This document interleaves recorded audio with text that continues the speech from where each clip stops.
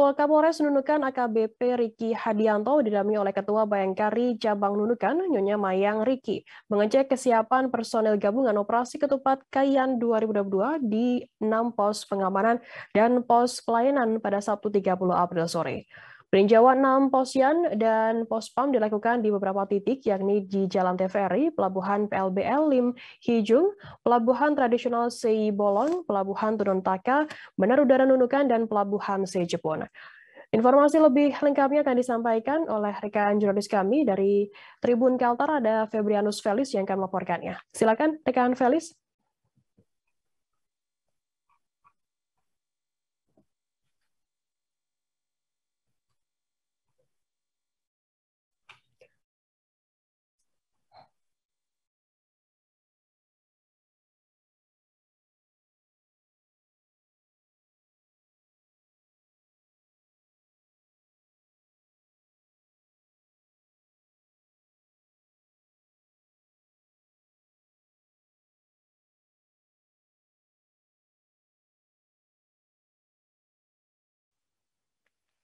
Ya, silakan rekan Felix. Baik rekan Firda dan Tribuners, dapat saya laporkan kembali bahwa memang kemarin Kapolres Nunukan didampingi oleh Ketua Bayangkari Cabang Nunukan, Nyonya Riki, mengecek kesiapan personel gabungan yang siaga pada pos-pos pada enam pos untuk Kayan 2022. Dan peninjauan enam pos posian atau pos pelayanan dan juga pos pengamanan dilakukan di sejumlah titik yang sudah disepakati, baik itu Jalan TVRI, Pelabuhan PLBL Limijung, Pelabuhan Tradisional Sungai Bolong, Pelabuhan Tenontaka, Bandar Udara Nukan, dan Pelabuhan Sungai Jepun.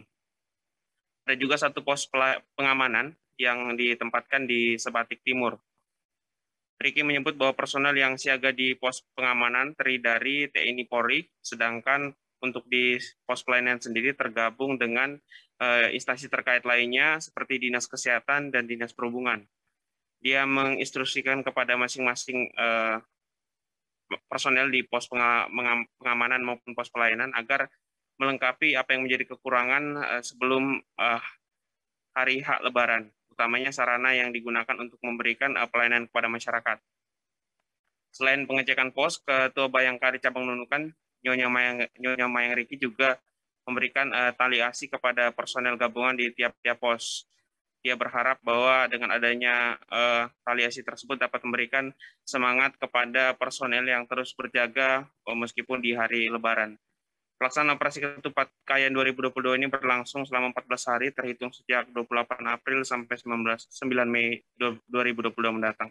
Terima kasih sudah nonton. Jangan lupa like, subscribe, dan share ya. Allah.